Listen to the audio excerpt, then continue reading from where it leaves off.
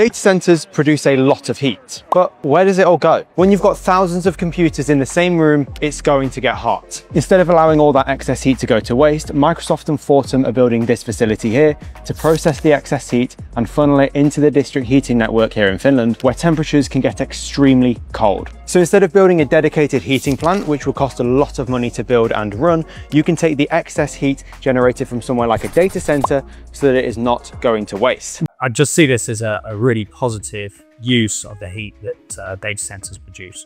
Uh, being involved in the, the, the cooling side of, uh, of data centers, yeah, it just makes perfect sense that this heat is then used to, to in community heating systems, which uh, in many of the, uh, a number of the Scandinavian and, and Nordic countries, they already have those systems in place already. So being able to use that heat from, from something that would otherwise be excess is, is a great use.